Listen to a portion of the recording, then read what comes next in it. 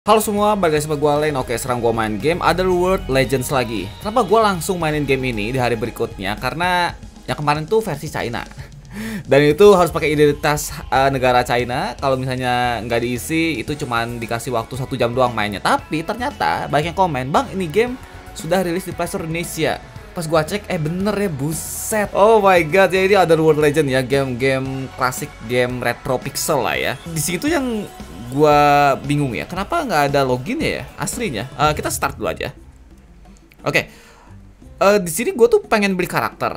Ya ini karakternya tuh ada yang harus dibeli dong. Pakai duit asli ya. Ada juga yang dapetin pakai diamond sih. Cuman masalahnya di sini nggak ada bin akunnya dong. Di sini cuma ada settingan grafis full screen bloom TXAA terus juga ada solusinya. Ini full, di, gua fullin.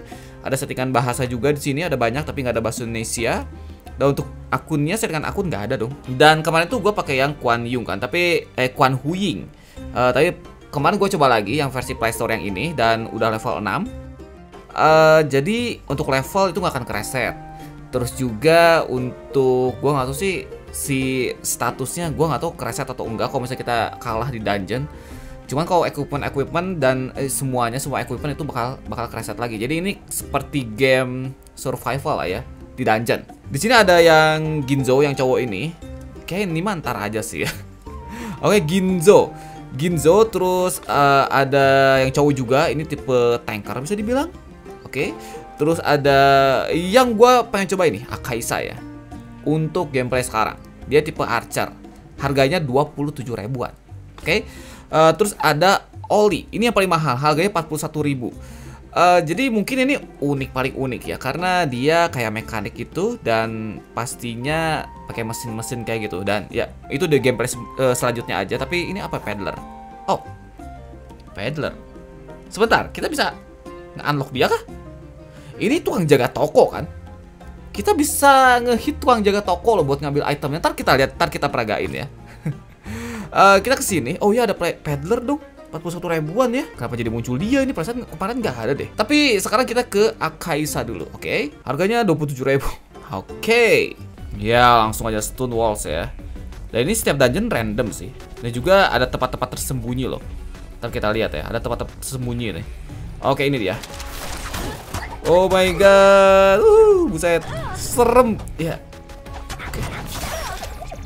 Kalau misalnya pas ngehindarnya dia itu bakal kayak nge-knockback si musuhnya ya. Agak susah sih aslinya. Oke, kita kita lihat ini sampai mana dia survive-nya, sampai dungeon mana. Kalau yang tipe knuckle itu sana sananya gampang karena bisa cepet banget si attack-nya.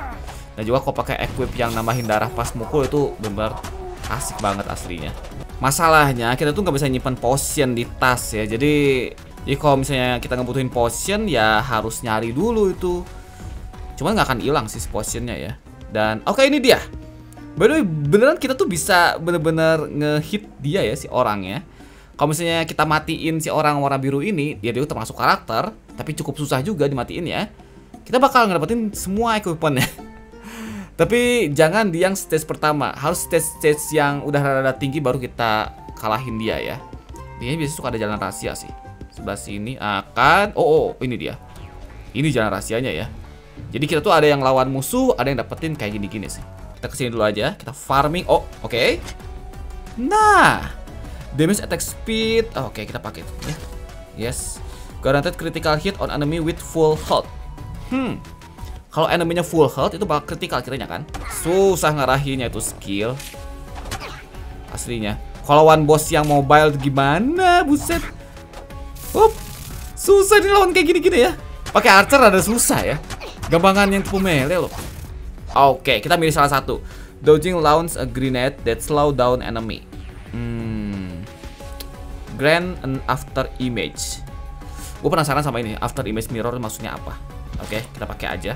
Dan kita bisa nge-equip 4 equipment di sini.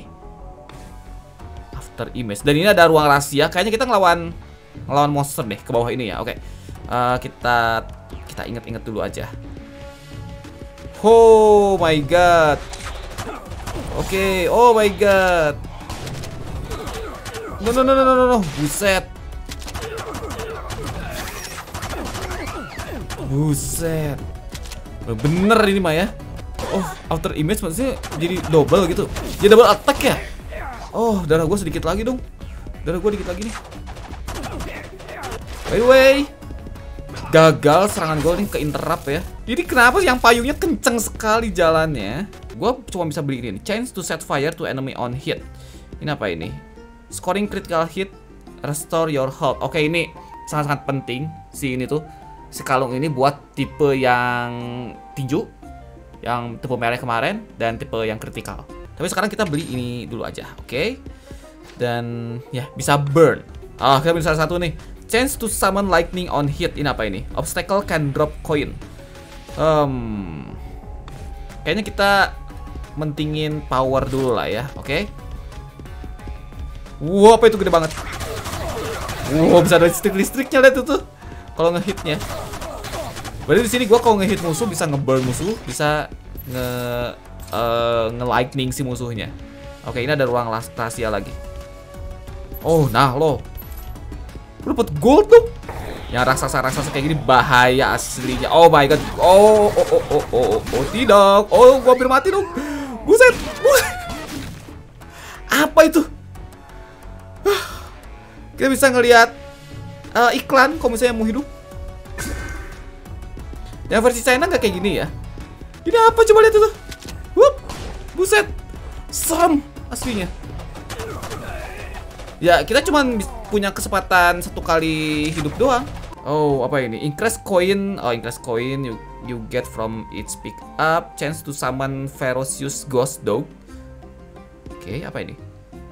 Leo Holy. Kalau misalnya kita matiin si musuhnya ini bakal ada kekuatan holy di lantai. Cuman gue pengen pakai ini sih aslinya. Oke, okay. uh, kita gantiin ini buat apa ini? Guaranteed critical hit on enemy with full health. Kayaknya kita gantiin ini aja deh. Cuman full health, pas full health doang baru critical ya. Kena enemy-nya. Ada ruang rahasia kah? No, no, oke. Okay. Gue bisa ngesumuan apa tadi? Shadow Dog. Oh itu. Jadi kayak build apa ini ya? Oke. Okay. Uh, kita ngomong dulu ke dia. No. Kita lawan aja ya. Gak punya duit soalnya. Whoops, whoops. Uh, ngeri sumpah. Oh, bos ini gampang kayaknya kok pakai panah ya. Oh my god. Oh my god. Langsung mokat dong. Oke, lebih gampang pakai panah ya. Nice, nice. Kita dapat apa nih? Uh, dapat panah hijau dong. Uh, Sason Longbow. Summon tag with revive with. Oke, okay, ini uh, ini kita sell aja. Kita bisa jual kalau misalnya ada equipment yang nggak dipakai. Dan kita bisa nge-summon dia. Oke, okay. dan kalau sekarang kita coba hit si yang baju warna biru atau yang pedagangnya ya. Mana ini? Nice, semuanya yang dogi ini emang cukup ngebantu sih. Ini dia. Kita nggak Increase movement speed as armor decrease. Oke, okay. ini apa ini? Increase damage for all attack but can no longer cause critical. Attacknya nambah tapi nggak akan ada kritikalnya. What? Buat apa ini? Sebenarnya tidak berguna deh. Tapi tapi kita coba aja lah ya. Semoga Oh Oh barbar kan Dia tipe Oh my god Oh Dia barbar loh aslinya Susah loh susah ini Susah aslinya uh, uh, uh, no, no, no. no, no. Lihat itu Gerakannya Panaskan aja mahal harga itu 41 ribu ya No no no no. Good. Yes. Nah, kalau misalnya kita matiin dia, stats-stats berikutnya dia cuma ninggalin surat doang kalau dia lagi sakit ya. Jadi nggak akan jualan-jualan lagi. Jadi hati-hati banget. Jangan sampai nge, nge ngebuat dia pingsan di stage yang uh, awal-awal. Grand buff when you step into an unknown room. Hey, buff apa nih maksudnya? Unknown room. Kita pakai dulu aja ya. Ini kan unknown room kan? Set. Oh my god, apa itu? Uh, gue dapat buff apa ya? Lihat itu, ada kayak samurai-samurainya keren. Oh, keren-keren. Kan susah kan? No, no, no, no. Kita menjauh, kita menjauh. Eh, tuntung dia Mana? Good. Coba charge. Oh my god, no, no, no, no. Pakai archer susah sih aslinya. Oke. Okay. Take less damage when attack from behind. Ah, kalau dibokong itu bakal sedikit sih damage-nya. Chance to fire a firecracker to dash the enemy. The chance to dash elite enemy. Uh, kita pilih yang ini coba. Gua pengen ini bisa ngeluarin firecracker, kembang api. Ah, dan ini juga kita bisa nge-combine ya. Hmm, gua nge-combine dia, dia dan dia. Oke. Okay. Ho. Oke, okay, ini apa ini? Trigger a gravity wave upon activating the skill. Ini dua aja, oke. Okay. Uh. Jadi roketnya dong beneran ya. Tadi ngeluarin kembang api, ngeluarin mercon ya, buset. Nggak ngeluarin terus-terusan kah? Ah, itu dia. Cuman segitu doang ngeluarinnya ya.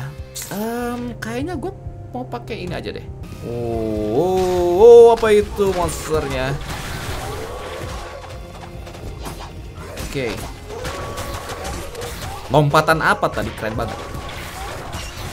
Mulai menyala-nyala gini ya. Oke.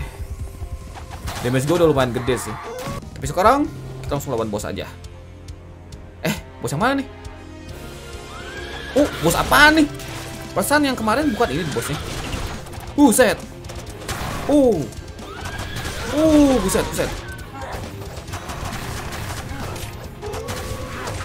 Come on. Ayolah. Oh, walaupun kita loncat tetap kena ya. Ya, harus menghindari ke atas atau ke bawah itu. Ya. Dia turun dari kuda. Oh my god, serem. Oh. Oh, parah parah parah. Buset. No, no, no. Hampir mati gua. Gak ada potion.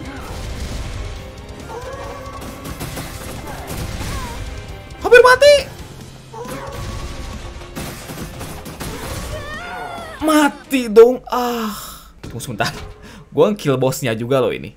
Gua kill bosnya juga itu kenapa itu muncul si chestnya. Tapi ya gameplay sama dulu aja. Jadi ya kita sudah melihat gameplay dari Akaisa. Kalau untuk skill-skill yang lainnya kita bisa, masih belum bisa ngelihat karena masih level segini juga. Gameplay selanjutnya kita coba yang Oli ini ya.